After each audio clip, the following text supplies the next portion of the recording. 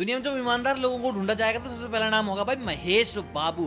भाई सब तारीफ़ कर रहे हैं टाइगर थ्री की, हर एक बंदा, लेकिन एक आदमी है अपना महेश बाबू, जिसने भाई साहब उखाड़ दिया, डंडा दे दिया सलमान खान को कि भाई इन खामियों का का करें, इन कमियों का का करें, तुम बताओ तुम बताओ। और भाई Mahesh Babu we love you the way जिस बेबाकी के साथ तुमने बातें कही, भाई, मज़ा आया। देखो यार, बहुत से लोगों ने तारीफ़ की कि भाई प्लॉट अच्छा था, कहानी अच्छी थी। वो सलमान ने पता नहीं क्या कर दिया कैटरीना का अवतार कभी देखा ही नहीं था।